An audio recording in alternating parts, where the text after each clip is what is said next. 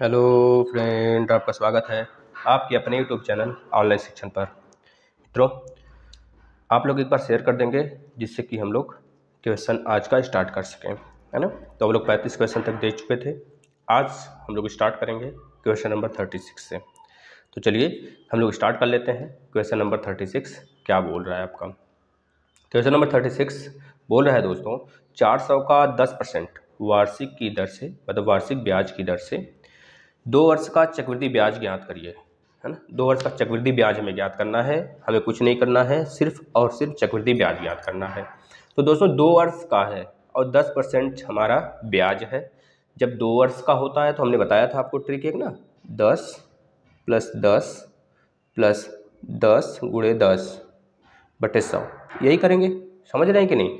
Zero zero से गया, बचा यहाँ पे एक गुड़े एक एक बचा और यहाँ पे दस प्लस दस, यानी कि बीस और एक इक्कीस इक्कीस परसेंट हो गया। अब आपको चार सौ का इक्कीस परसेंट निकालना है, जो आएगा, वही आपका आंसर हो जाएगा। देखिए कैसे, चार सौ चार सौ का इक्कीस परसेंट निकाल लीजिए मेरे भाइयों। चार सौ का जब इक्कीस परसेंट निकालेंगे, ज़ीरो ज़ीरो से गया, इक्कीस गुड़े कर लेंगे तो चार एकम चार चार दुनिया आठ दोस्तों। ये तो आपका पता है क्या हो गया है ये तो हो गया आपका चक्रवृद्धि ब्याज C I eighty four rupees हो गया। यही पूछा था आपसे। एट्टी फोर आपका क्या आ जाएगा? चक्रवृद्धि ब्याज। देख लीजिए।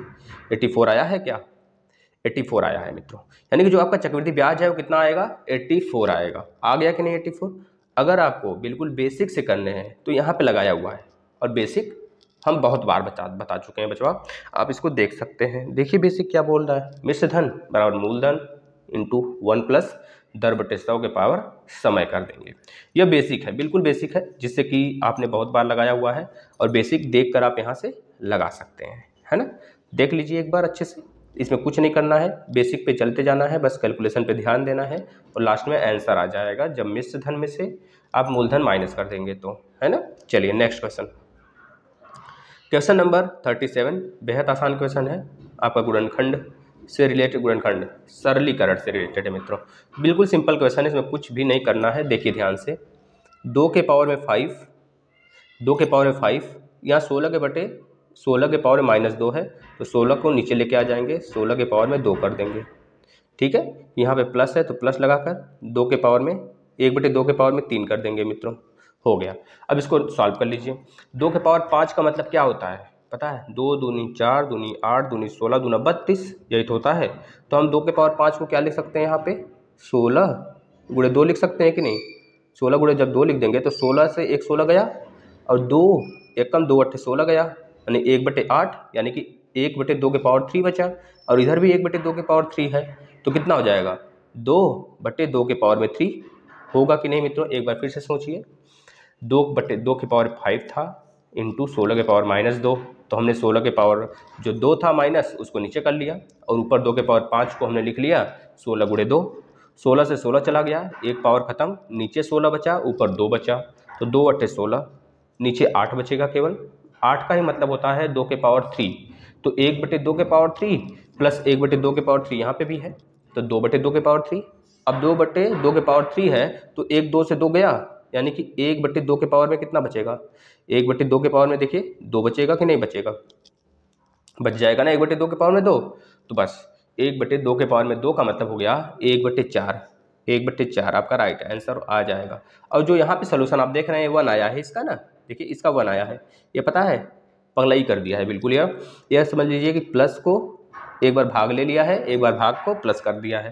तो इसका रॉन्ग है, काटिए। जिस, जो क्वेश्चन है, उस क्वेश्चन के हिसाब से अगर हम करेंगे तो हमारा आंसर एक बटे चार आएगा, न कि वन आएगा। याद रखेंगे मित्रों, है ना? चलिए नेक्स्ट चलते हैं। क्वेश्चन नंबर थर्टी एट एक ईंट की लंबाई, चौड़ाई, मोटाई। दिया हुआ है पच्चीस, दस, सात, दशमलव पाँच। और आपको दे दिया है कि भैया यह दीवार बनानी है, कितनी मोटी दीवार बनानी है? पाँच सेंटीमीटर, तीन दशमलव पाँच सेंटीमीटर और तैंतीस सेंटीमीटर। मोटी दीवार बनाने में कितने ईंट लगेंगे? बस, जितना ऊपर वाला है, उतना का गुड़ा करके नीचे वाले का डिवाइड यही तो करेंगे। अच्छा एक मिनट। ईंट की लंबाई ऊपर है और दीवार की लंबाई नीचे है। तो दीवार की लंबाई बटे ईंट की लंबाई करेंगे। यानी कि इस बार उल्टा दिया है, थोड़ा सा ध्यान से देखेंगे। यहाँ पे पाँच मीटर, कुछ सेंटीमीटर में जब बदलेंगे तो कितना होगा? पाँच सौ। पाँच सौ और तीन दशमलव पाँच को जब सेंटीमीटर में बदलेंगे तो तीन सौ पचास गुड़े तैंतीस सेंटीमीटर, तैंतीस कर देंगे। अपान में जितना है उतना कर दीजिए। अपान में ऊपर वाला जो है, ईंट की लंबाई, चौड़ाई, ऊंचाई, पच्चीस गुड़े दस गुड़े सात दशमलव पाँच सेंटीमीटर, देख लीजिएगा। यूनिट बिल्कुल सही लेना है। अगर यूनिट गड़बड़ करेंगे तो गड़बड़ा जाएगा। अब देखिए दोस्तों, सात दशमलव पाँच है यहाँ पे और यहाँ पे पच्चीस है और यहाँ पे दस है। तो दस मतलब एक ज़ीरो से ज़ीरो गया। पच्चीस दूनी पचास हो गया यहाँ पे। और ऊपर तीन सौ पचास है गुड़े तैंतीस है, नीचे सात दशमलव पाँच है। अच्छा तैंतीस का अच्छा पै, देखिए यहाँ पे पैंतीस है ना, तीन सौ पचास है ऊपर तो सात दशमलव पाँच आपको पता है, सात दशमलव पाँच। यानी कि पैंतीस का जस्ट, अगर वहाँ पे तीन दशमलव पाँच होता तो उसका दो बार में कटता। तो हम एक काम करते हैं, दो ऊपर बचा है और ऊपर क्या बचा है, पैंतीस को हम एक दो ज़ीरो से गुड़ा कर लेते हैं, क्योंकि एक ज़ीरो और ऊपर बढ़ाएँगे तो नीचे भी एक ज़ीरो बढ़ जाएगा हमारा। समझ रहे हैं कि नहीं समझ रहे हैं आप लोग? समझ रहे हैं ना? गुड़े तैंतीस गुड़े तैंतीस कर लिए। ठीक है ना? अब नीचे देखिए हम लोग क्या कर लेंगे? नीचे देखिएगा, नीचे क्या बचा है? केवल और केवल सात दशमलव पाँच था तो दस से गुड़ा करेंगे तो पचहत्तर हो जाएगा। हो जाएगा कि नहीं हो जाएगा भैया? हो जाएगा। अब देखिए कुछ कट पिट रहा है कि बस आगे गाड़ी खिसकने वाली है, देख लीजिए। अब इसी को आप सॉल्व करेंगे। सॉल्व करने के बाद जो आएगा वही आपका आंसर होगा। तो पाँच सत्य पैंतीस काट लीजिए और नीचे हो जाएगा पंद्रह, पच्चीस, पचहत्तर। पाँच सत्य पैंतीस और पंद्रह पचे पचहत्तर। यानी कि देख लीजिए। पाँच एकम और पाँच पचे पच्चीस, हो गया ना? पंद्रह। अब देखिएगा मित्रों, जब इसको ऊपर आ गया चौदह सौ। चौदह सौ गुड़े तैंतीस और नीचे पंद्रह है है ना? तो आप क्या रहेंगे, एक काम और, तीन पचे पंद्रह और यहाँ पे ग्यारह आ गया। एक मिनट एक मिनट एक मिनट। और यहाँ पे मित्रों देख रहे हैं, यहाँ पे ग्यारह आ जाएगा आपका। कितना आ जाएगा? एलेवन यहाँ पे एलेवन आ गया। और नीचे फाइव है और ऊपर सात गुड़े दो है। तो फाइनली जो हमारा बचेगा, यहाँ पे देखिए सात गुड़े दो डबल ज़ीरो लगा दीजिए, क्योंकि डबल ज़ीरो है यहाँ पे। गुड़े ग्यारह, ऊपर इतना बचा। नीचे क्या बचेगा? फाइव बचेगा। फाइव बचा है तो पाँच से चार बार में पाँच चौक बीस, यहाँ पे चालीस हो गया। चालीस गुड़े ग्यारह गुड़े सात कर लीजिए। तो ग्यारह सात चौक अट्ठाईस या फिर ग्यारह चौक चौवालीस। अब देखिए, चालीस गुड़े सात गुड़े ग्यारह, याद किए रहिएगा। चालीस गुड़े सात गुड़े ग्यारह करना है हमें। हमारा राइट आंसर आ जाएगा। चालीस गुड़े सात गुड़े ग्यारह कर लीजिए। देखिए, ग्यारह सत्य सतहत्तर हो गया। सतहत्तर में गुड़ा चार का करेंगे। सात चौक अट्ठाईस को आठ, हाथ में दो। सात चौक अट्ठाईस दो, तीस। एक ज़ीरो चिपका दीजिए। तीन हज़ार अस्सी अगर आया है आंसर तब तो आपका राइट है, वरना रॉन्ग हो जाएगा। देख लीजिए, तीन हज़ार अस्सी आया है भैया कि नहीं आया है? बताइए। आया है। हमने कहीं गलत किया कैलकुलेशन में? नहीं ना। तो आपको भी इसी तरह करना है। चलिए next question number thirty nine बेहद आसान है। इस बार तीन वर्ष का चक्रवृद्धि ब्याज ज्ञात करना है। दस परसेंट वार्षिक ब्याज की दर से। तो यह भी सिंपल है। हम लोग इसको भी सेम मेथड से देखेंगे, जैसे पिछले वाला देख रहे थे। अब दस परसेंट अगर दो साल का होता मित्रों तो आपको पता इक्कीस आ रहा था? इक्कीस आ रहा था, लेकिन दस परसेंट तीन साल का है। तो इस बार इक्कीस को दो में ऐड करके अलग कर लेंगे प्लस दस लिख लेंगे। दस प्लस दस गुड़े इक्कीस। बटे सौ कर लेंगे। एक ज़ीरो ज़ीरो से गया, यहाँ पे दो दशमलव एक, क्योंकि इक्कीस बटे दस से मतलब दो दशमलव एक आ गया। और पे इक्कीस प्लस दस का मतलब इकतीस इकतीस और दो दशमलव एक, कितना हो गया? बत्तीस, तैंतीस हो गया। यानी कि तैंतीस दशमलव एक, तैंतीस दशमलव एक परसेंट निकाल देंगे पाँच हज़ार का। निकाल दीजिए, चलिए। पाँच हज़ार गुड़े तैंतीस दशमलव एक बटे सौ कर देंगे। बस जो आएगा आपका वही चक्रवृद्धि ब्याज हो जाएगा। ज़ीरो ज़ीरो से गया भैया, यहाँ पे हो गया तीन तीन, एक गुड़े पाँच। पाँच एकम पाँच पाँच तीन पंद्रह को पाँच, हाथ में एक, पाँच तीन पंद्रह एक, सोलह। सोलह सौ पचपन आपका राइट आंसर हो जाएगा। देख लेते हैं कितना आया है। सोलह सौ पचपन आ गया है भैया, देख लो आप। सोलह सौ पचपन, अब नहीं समझ में आया जिसको भैया, वो एक बार फिर से वीडियो को देखेगा। और यहाँ पे जो बेसिक मेथड दिया गया है, उससे सॉल्व करने की कोशिश करेंगे आप। हम आपको एक बार आगाह करना चाहते हैं दोस्तों, क्योंकि इसमें मैक्सिमम गलत आंसर दिया हुआ है। तो आप ध्यान से करेंगे, जिससे कि आपका आंसर राइट आ सके, है ना? चलिएगा, नेक्स्ट क्वेश्चन की तरफ़ चलते हैं। Question number forty, twelve y square minus y minus one का गुणनखंड कीजिए। तो बेहद आसान है, इसमें भी कुछ नहीं करना है आपको। हमने कईयों बार इसको कर रखा है, ऐसे क्वेश्चन, ठीक है? आप कर सकते हैं इसको। बस इसमें एक चीज़ ध्यान रखना है, जो हमारा द्विघाती का गुणन है, उसका और लास्ट वाले का। गुणा करने पर क्या आ रहा है? वह देखना है, और जो बीच में है, वह माइनस और प्लस करने पर लाना है हमें, है ना? तो हमको दो ऐसे नंबर ढूँढने हैं, जिसमें कि माइनस प्लस करने पर माइनस या फिर प्लस करने पर माइनस वाई आ जाए, यानी कि माइनस वन आ जाए, और गुणा करने पर माइनस ट्वेल्व आ जाए। तो ऐसे दो नंबर तो हमको दिख रहा है, चार और माइनस तीन। सॉरी माइनस चार और तीन। यह दिख रहा है ना माइनस चार और तीन। तो दोस्तों, माइनस चार और तीन है। तो माइनस चार और तीन यहाँ पे हम आप कर सकते हैं ट्वेल्व वाई स्क्वायर माइनस चार वाई प्लस तीन वाई प्लस तीन वाई माइनस वन। कर लीजिए इसे सॉल्व देखिए, चार वाई कॉमन कर लेंगे। चार वाई कॉमन कर लेंगे तो कितना बचेगा? चार तीन बारह, यानी कि तीन वाई बचेगा माइनस वन। तीन y minus one plus one common कर लेंगे तो तीन Y minus one.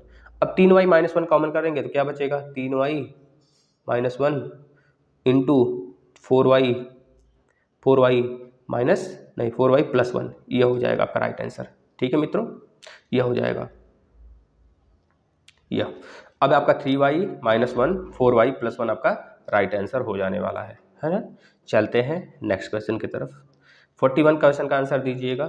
Five thousand के कर्ज पर रामू दो वर्ष बाद छः सौ चालीस साधारण ब्याज देता है छः सौ चालीस रुपये साधारण ब्याज देता है। तो ब्याज की दर ज्ञात करनी तो बहुत ही सिंपल है इसमें कुछ भी नहीं करना है। देखिए, दो वर्ष के लिए जब दे रहा है ना तो इसमें आपको सोचना नहीं है, फार्मूला वगैरह अगर लगाना है तो भैया फार्मूला लगा सकते हैं, आपके सामने यहाँ पे रखा है। लेकिन हम बिना फार्मूले के इसको करके दिखाते हैं आपको पहले। देखिए, फाइव थाउज़ेंड फाइव थाउज़ेंड हुआ, अब फाइव थाउज़ेंड हमारा मूलधन है। तो इसी में हेरावरली देखिए, कॉन्सेप्ट अगर क्लियर रहता है तो हम लोग फार्मूले से ही ट्रिक बनाते हैं, फार्मूले से ही दुनिया, इतिहास रचती है है ना? आपको पता है कि नहीं? बस थोड़ा सा माइंड का कैलकुलेशन होता है। अगर आप थोड़ा सा फास्ट सोच सकते हैं तो फास्ट सोच लीजिए, जिससे कि दूसरों से आगे निकल जाएँगे, बस इसमें कुछ रखा है।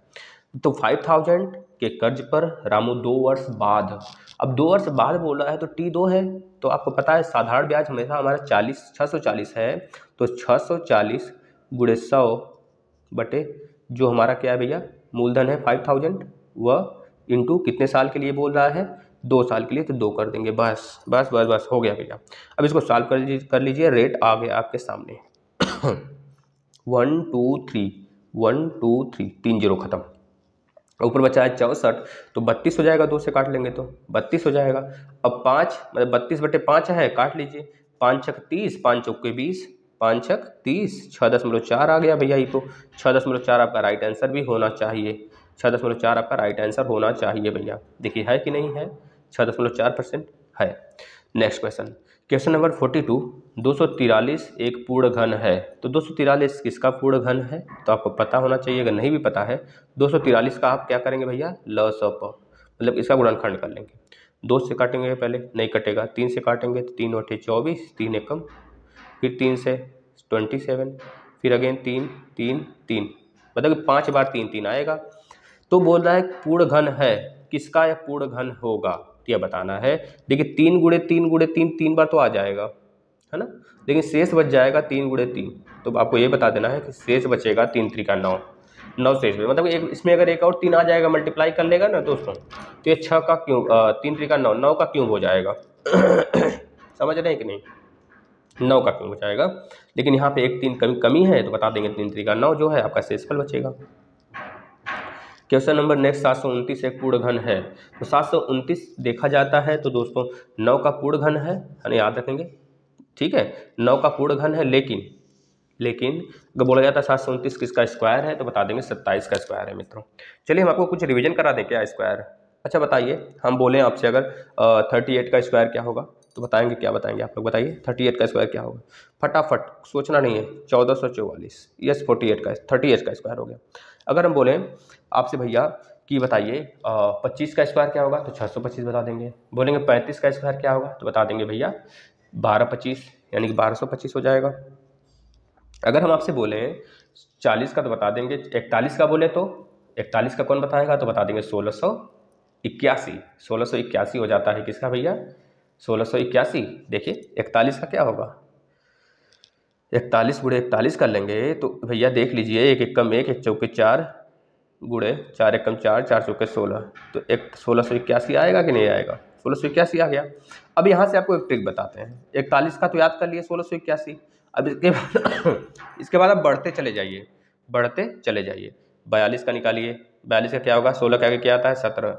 सत्रह आता है। तो पचास में से अगर आप बयालीस माइनस करेंगे तो आठ आएगा। तो यहाँ पे चौंसठ लिख देंगे, आठ का स्क्वायर चौंसठ। सेम तिरालीस का निकालेंगे। तिरालीस का स्क्वायर निकालने के लिए आप क्या करेंगे? सत्रह के बाद क्या आता है? अठारह आता है। अठारह आता है। अब तिरालीस को जब पचास में से माइनस करेंगे तो सात आएगा। तो सात, सत्तर, उनचास, यानी कि अट्ठारह उनचास। ठीक है मित्रों? अगर आपको चवालीस का स्क्वायर निकालना हो तो फिर क्या करेंगे? तो आपको पता है चवालीस का स्क्वायर निकालने के लिए अट्ठारह के आगे क्या आता है? उन्नीस। और चवालीस को जब पचास में से माइनस करेंगे छः छः चार का छत्तीस।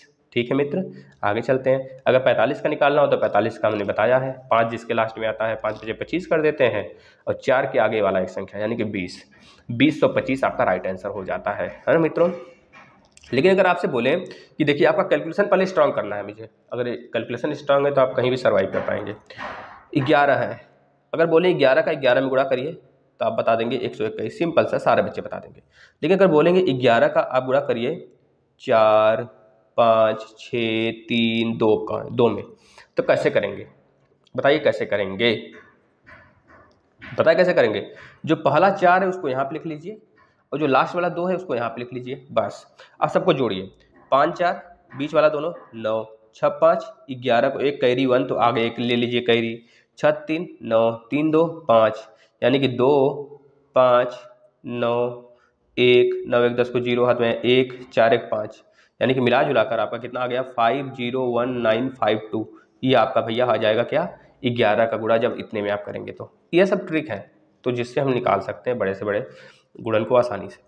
फोर्टी फोर का क्वेश्चन का आंसर बहुत ही आसान है। इसका तो देखते ही हमारे बच्चे आंसर देंगे। एक बटे आठ इंटू तीन के पावर माइनस तीन है। तो तीन के पावर माइनस तीन का मतलब एक बटे तीन के पावर में तीन। यही तो होगा। अब तीन त्रिका नौ सत्ताईस।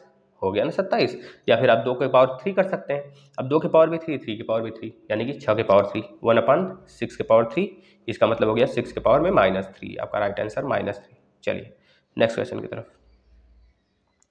फोर्टी फाइव का राइट आंसर दोस्तों, एक ठोस घनाकार टुकड़े का संपूर्ण पृष्ठीय क्षेत्रफल दो सौ सोलह सेंटीमीटर है। कितना? अब एक घनाकार आपका है, घनाभ है तो आपका घनाभ का भैया जो आता है पृष्ठीय क्षेत्रफल कितना होता है? कौन बता देगा? बस पृष्ठीय क्षेत्र, अगर क्यों पूछता है आयतन तो आयतन आपको पता है, भुजा के पावर थ्री होता है है ना? लेकिन यहाँ पे घनाकार पूछा है है ना? उसका पृष्ठीय क्षेत्रफल बताना है आपको। तो पृष्ठीय क्षेत्रफल का फॉर्मूला सबको पता होता है। किसी भी घन के पृष्ठीय क्षेत्रफल का फार्मूला क्या होता है, हमारे बच्चे बताने में बहुत ही माहिर है।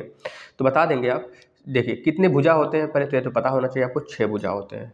छः होते हैं। तो छः गुड़े साइड का स्क्वायर, साइड मतलब भुजा का स्क्वायर। बराबर आपको दिया है दो सौ सोलह तो काट लीजिए, दो सौ सोलह छः से कट ही जाएगा। छत्रिक अट्ठारह और छः चार का छत्तीस, यानी कि यस बराबर कितना आ गया? छः आ गया। जो एक साइड है आपका कितना आ गया भैया? छः आ गया। एक साइड आपका छः आ गया तो आपको पूछ रहा है आयतन बताइए तो छः के पावर में थ्री कर देंगे, बस। छः चार का छत्तीस, छक्का, दो सौ सोलह, लो भैया। जो पिष्टी क्षेत्रफल दिया था वो भी दो सौ सोलह, आयतन भी दो सौ सोलह आ गया, है ना? देखिए लीला है सब, बेटा। नेक्स्ट क्वेश्चन आयतन की परिभाषा दीजिए तथा इसे उदाहरण सहित समझाइए। आयतन का आशय क्षमता से है, अर्थात किसी वस्तु की जितनी क्षमता होती है, यह उस वस्तु का आयतन कहलाता है। अन्य शब्दों में अगर देखें दोस्तों तो किसी ठोस पदार्थ का वायुमंडल में जितना स्थान घेरा जाता है, वह उस पदार्थ का आयतन कहलाता है। इसी तरह किसी खोखली वस्तु में जितना द्रव भरा जा सकता है, वह द्रव का आयतन कहलाता है। ठीक है मित्रों मतलब कि आप समझ रहे हैं। जैसे हमारे घर में टंकी होती है, पानी वाली तो टंकी आप क्यों लेते हो? कैसे कह के लेते हो? क्या कह के लेते हो? बोलते हो ना, एक हज़ार लीटर की टंकी दे दो, पाँच सौ लीटर वाली टंकी दे दो दो हज़ार लीटर वाली टंकी दे दो। भैया जी एक घर में ज़्यादा पानी पीने वाले आप जैसे लोग हैं तो क्या करेंगे? बड़ी वाली टंकी तो लेंगे, क्योंकि हम लोग तो पानी बहुत कम पीते हैं भैया ना। तभी तो तबीयत वगैरह ख़राब होती रहती है। पानी पीना चाहिए। इसलिए घर में मम्मी पापा से बोलना है आज जाके कि बड़ी बड़ी टंकी लगवाएँ, ठीक है ना? तो देखिए, हमारे पास मान लीजिए आप गए दुकान पे, बोले एक हज़ार लीटर टंकी देती अब एक हज़ार लीटर की टंकी वो आप मांग रहे हैं तो वह एक हज़ार लीटर क्या है? उस टंकी का आयतन ही तो है। अब आपको पता होना चाहिए कि एक मीटर क्यों बराबर एक हज़ार लीटर होता है। इतना याद रखेंगे। एक मतलब कि ए, दोस्तों कि अगर बोला जाता है एक मीटर क्यों बराबर कितना होता है तो बोलेंगे एक हज़ार लीटर होता है है ना? इस चीज़ को याद रखेंगे मित्रों। हमेशा और हमेशा यह फार्मूला आप हर जगह लगा सकते हैं। चलिए नेक्स्ट क्वेश्चन की तरफ़ बढ़ते हैं।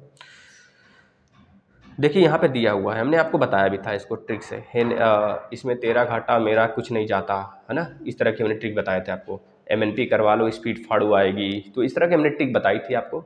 आपको याद होगा जिसको, उसको जो पिछले क्लासेस देख रहे हैं हमारे कई दिनों से, उनको पता होगा। अन्यथा आप लोग देखें क्वेश्चन नंबर नेक्स्ट बहुत, बेहद आसान क्वेश्चन है।